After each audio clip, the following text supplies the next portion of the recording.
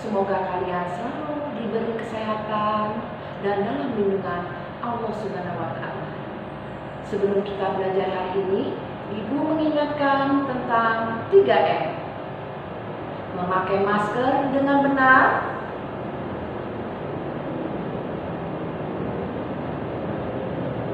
jaga jarak, hindari kerumunan, cuci tangan dengan sabun agar kita terhindar dari bermacam-macam penyakit. Baik anak-anak, mari kita belajar bersama Bu Yayu. Silakan simak video berikut ini.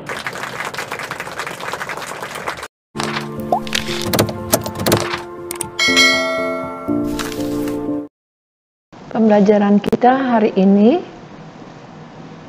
tema 5 ekosistem subtema 1 komponen ekosistem kompetensi dasar 3.7 untuk pengetahuan menguraikan konsep-konsep yang saling berkaitan pada teks non-fiksi untuk keterampilannya 4.7 menyampaikan konsep-konsep yang saling berkaitan pada teks non-fiksi ke dalam tulis dengan bahasa sendiri. Tujuan pembelajaran, siswa dapat menyebutkan pengertian teks non-fiksi, contoh, ciri-cirinya, dan unsur-unsur dalam teks non-fiksi. Sebelum Ibu menerangkan tentang teks fiksi dan teks non-fiksi, baiklah kalian harus tahu dulu apa itu yang dimaksud dengan teks. Teks adalah tulisan atau bacaan. Baiklah anak-anak, sekarang Ibu akan menjelaskan tentang definisi dari teks fiksi. Teks fiksi adalah teks yang dibuat berdasarkan hayalan atau imajinasi penulis teks ini tidak dapat dibuktikan kebenarannya. Sedangkan teks non-fiksi, teks non-fiksi adalah teks yang dibuat berdasarkan fakta atau kejadian sebenarnya dan dapat dibuktikan kebenarannya.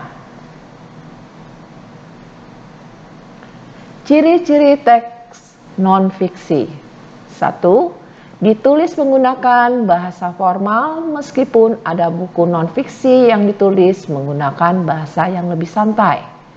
Dua, menggunakan metode metode penulisan denotatif agar bahasa yang digunakan dapat dipahami dengan mudah oleh pembaca.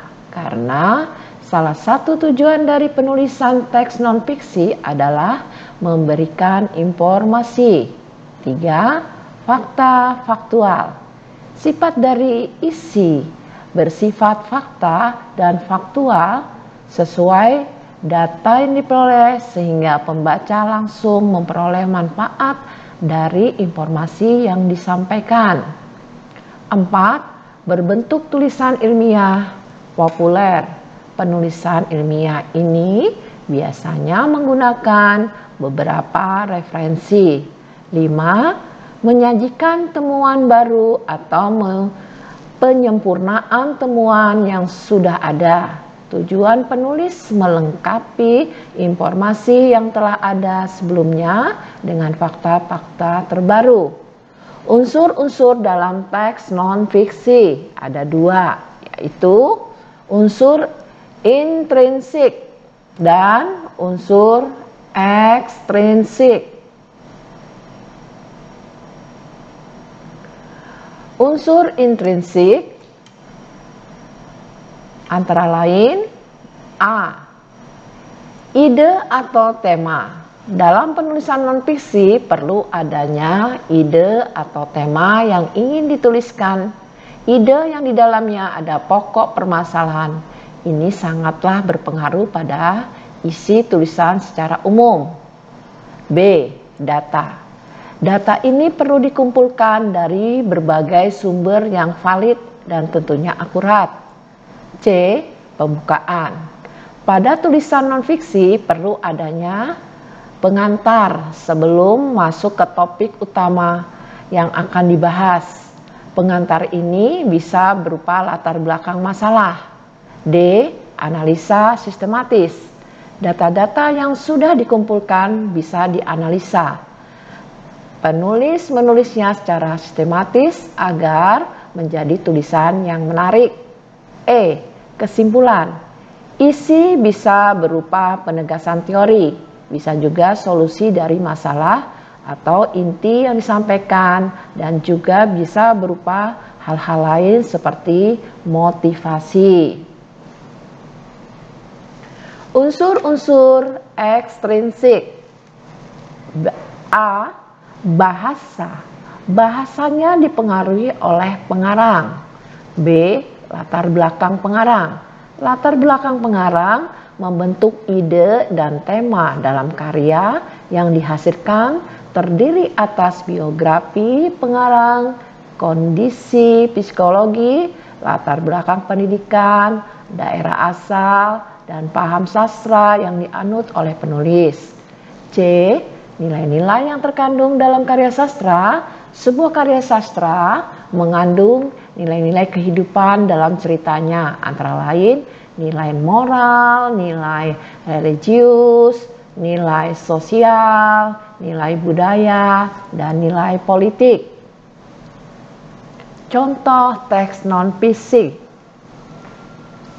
antara lain biografi, karya ilmiah, laporan pengamatan berita, tulisan sejarah, buku pedoman, jurnal, tesis, dan lain-lain.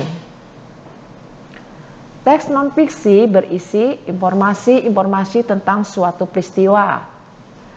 Kita dapat mencari dan menentukan peristiwa dengan mengidentifikasi teks. Mengidentifikasi teks dapat kita lakukan dengan mengurutkan peristiwa dalam teks. Selanjutnya, urutan peristiwa dibedakan menjadi tiga. A. Berdasarkan waktu terjadinya atau kronologi. B. Berdasarkan hubungan sebab akibat.